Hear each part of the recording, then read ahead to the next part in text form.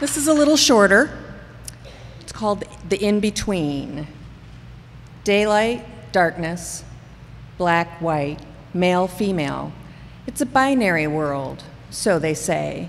But who are they? What about gray? Gray is the in between. But what does that mean, the in between? It must be one or the other, so they say. But who are they? What about gray? And if it's only in between, what does that mean? Twilight? The end of the day?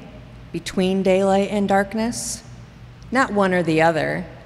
We can say, at the end of the day, we're all gray.